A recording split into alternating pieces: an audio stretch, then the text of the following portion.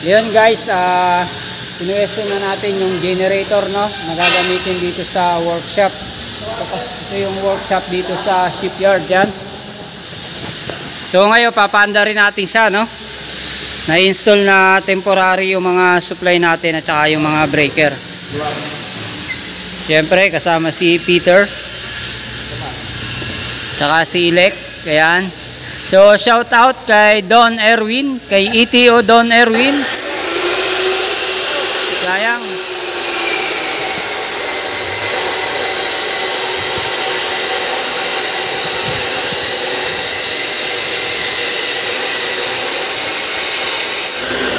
So ito guys yung isang uh, pamamaraan no, kung paano gamitin yung hydraulic crimper. Ayan, syempre uh, dalawang klase yung hydraulic crimper, yung portable at saka yung uh, ganitong yung mahaba yung hose no. Yung portable pa rin siya, semi-portable. Pero meron siyang hose na mahaba. Nakahiwala yung kanyang ano uh, yung pag iipitan mo ng lugs. Ayan. So, Lek, ano yung ginagawa mo ngayon, Lek? Ano to para doon? Ano? Sa terminal lugs. So, ipa, yan. So, ginagawa ni Lek ngayon. Lalagyan ng terminal lugs yung ating uh, terminal dun sa, yung kakabit natin dun sa breaker.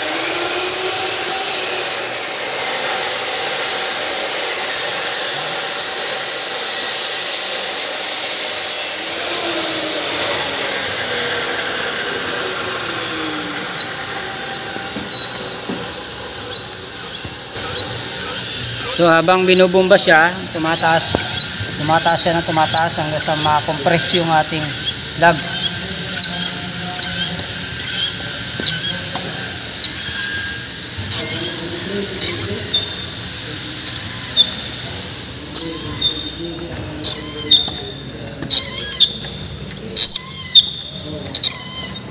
Op.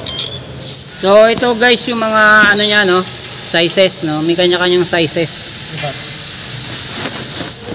So nagkataon guys, uh, yung lugs natin mas malaki doon sa wire natin, no?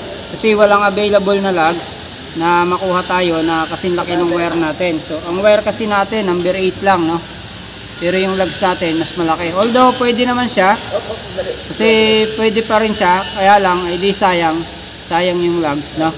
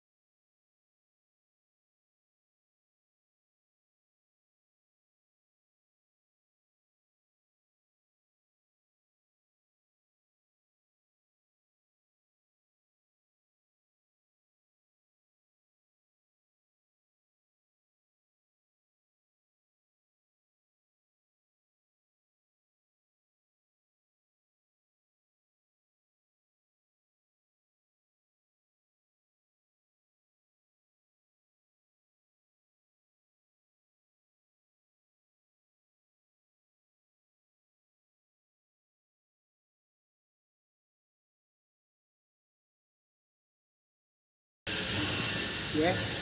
Pa, Luwag ko. Dito natin malak.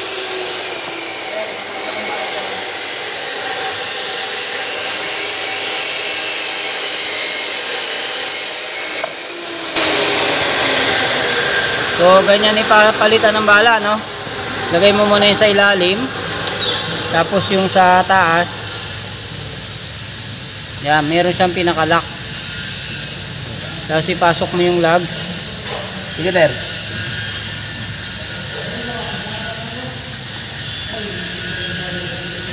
Ayan, tapos i-compress mo siya ng i-compress, no?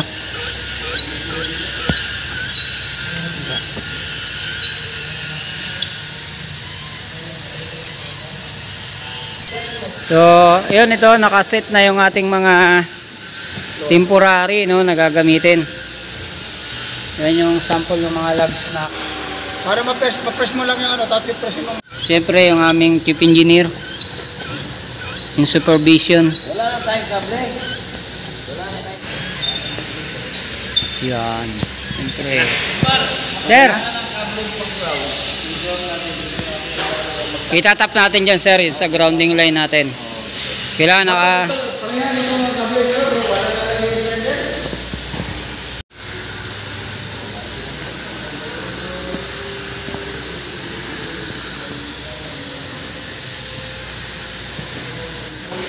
labas na, kung pwede, lokal.